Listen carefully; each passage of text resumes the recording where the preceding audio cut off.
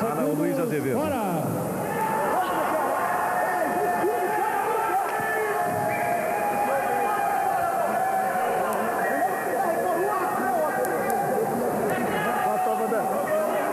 Tudo pronto.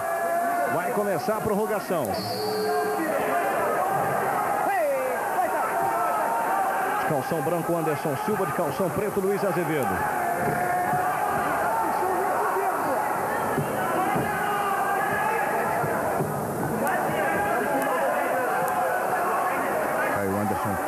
Procurando medir a distância. Tentando cercar o Luiz Azevedo.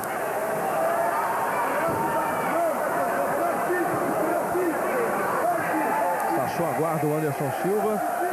Somente para atrair, né? O Luiz Azevedo. Luiz Azevedo sempre na provocação.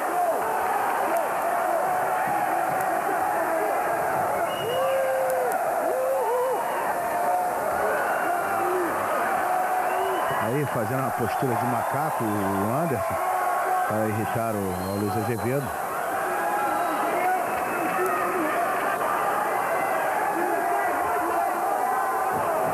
acima de tudo com a ironia, né, o Anderson Silva. Tentando, claro, tirar a concentração e ao mesmo tempo irritar o seu adversário. O torcedor não está gostando não, quer uma iniciativa maior dos dois. É, o Anderson vai encurralando aí o Luiz Azevedo ele, vez por outra, tenta dar um chute, alguma coisa para, como é o caso agora que está bem encurralado, sair da situação. Os dois são, apesar da pequena vantagem que o Luiz Azevedo teve, os dois são, estão bem parelhos, então há um certo respeito agora nesse começo de round. Os dois evitando o máximo possível um erro.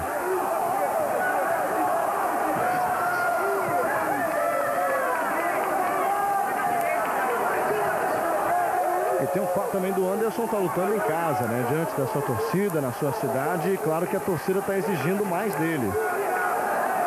Que é mais combatividade do Anderson Silva.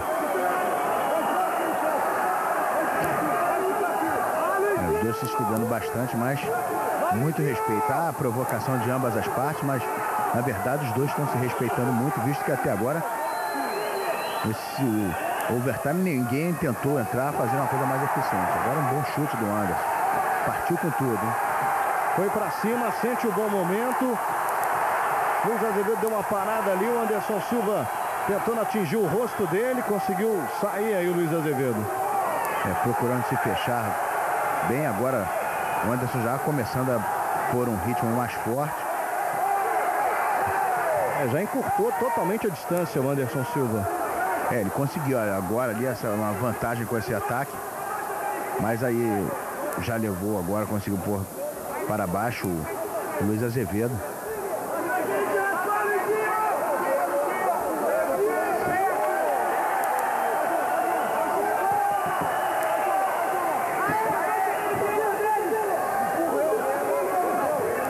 Fechou agora, agora o Anderson.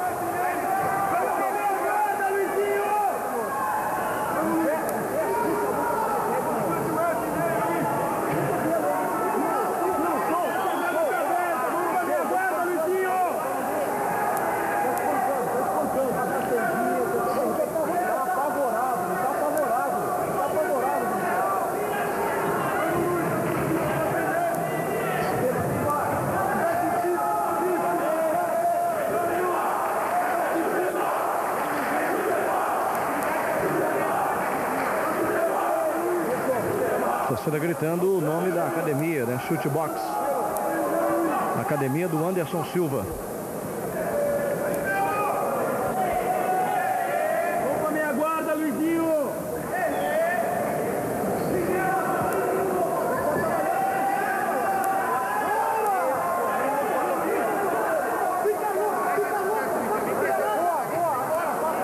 Tentando passar uma perna Luiz Azevedo defende bem o Anderson Silva. Movimentação muito grande agora do Luiz Azevedo.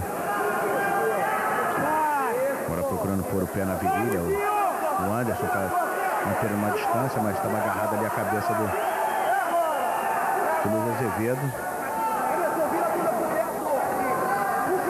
É difícil. Ele solta a cabeça e, e afasta ou ele abraça o Luiz Azevedo.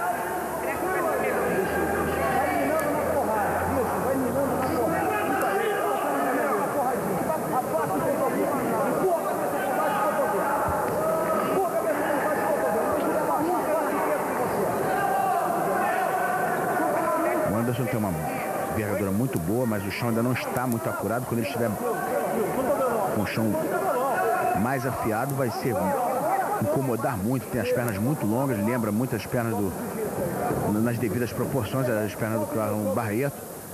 Atletas com essa perna muito longa incomodam muito no Vale Tudo, sabendo aproveitar. Com mais treino. Vai ter uma guarda muito boa no chão para Vale Tudo incomodar bastante.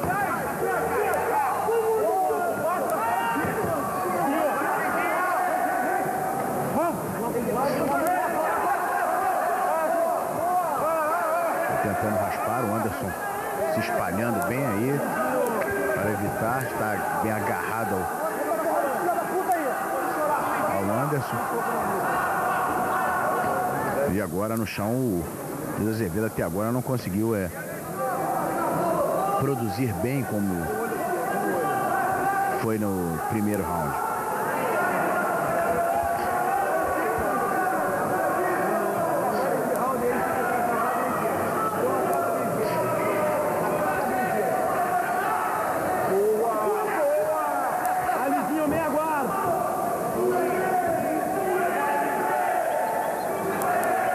É, na verdade, essa luta aí tem dois rounds né, e mais overtime. Se por acaso houver um empate no final desse round, ainda teremos mais cinco minutos. Pode ser a luta mais longa que estamos acompanhando desse Mecha World Vale Tudo até aqui. Quarto combate, total de sete lutas.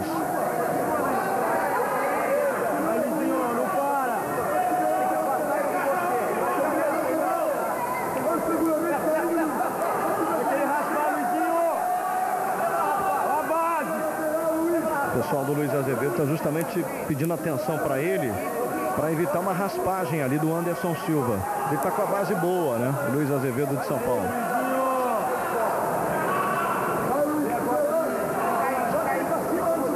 Passou o braço esquerdo por dentro.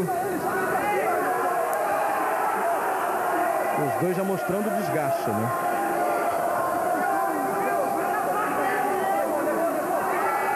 Vai tentar raspar ali, não deu.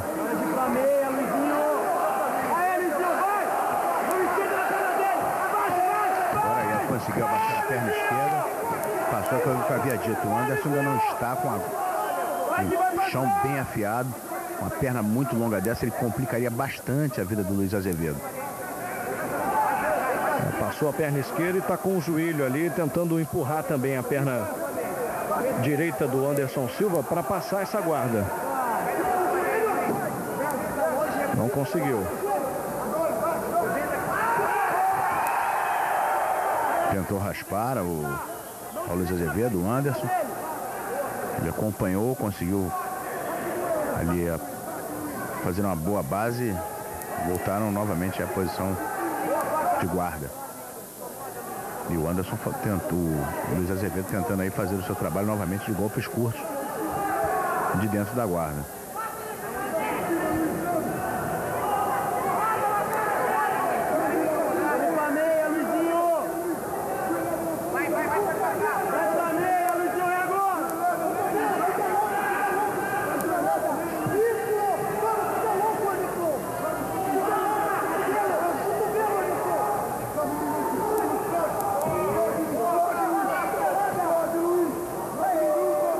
Como o Luiz Azevedo abre bem as pernas ali para evitar ser raspado, né?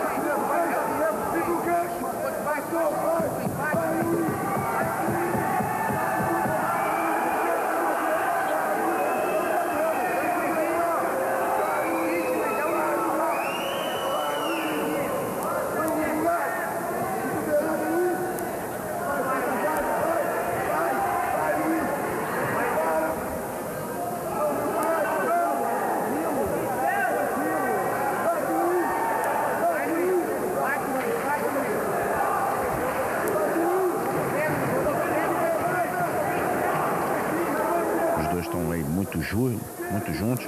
Então fica difícil de...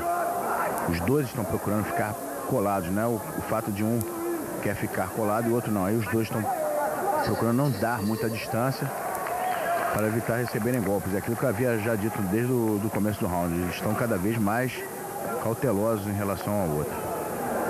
É, final do segundo round teremos um overtime, né? Essa luta tá difícil, equilibrada, complicada até aqui.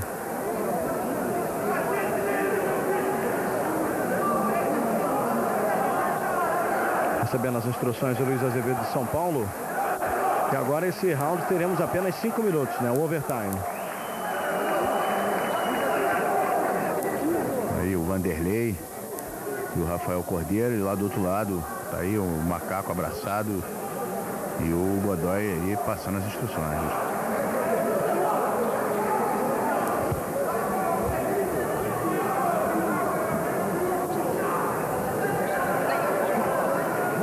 A respiração do Luiz Azevedo está mais ofegante que a do Anderson.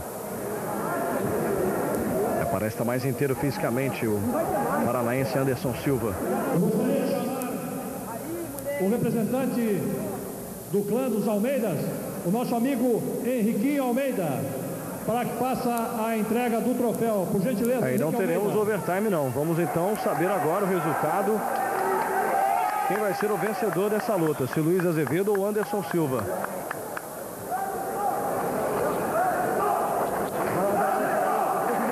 torcedor está gritando o nome do Anderson Silva. É uma decisão difícil, né? É, justamente. A...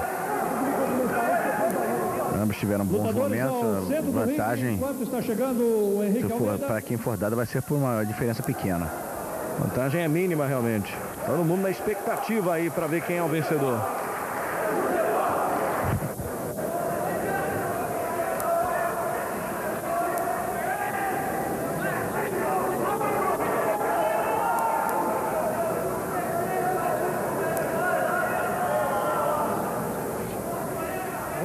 Depois de dois assaltos de 10 minutos, o vencedor por pontos, uma decisão dos juízes laterais da Academia Godoy Macaco, Luiz Azevedo.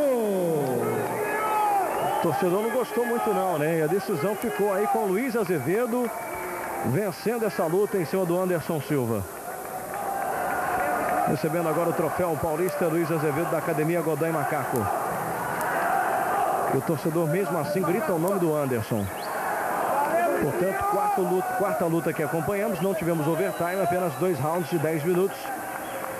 E a decisão por pontos aí, a vitória do Luiz Azevedo.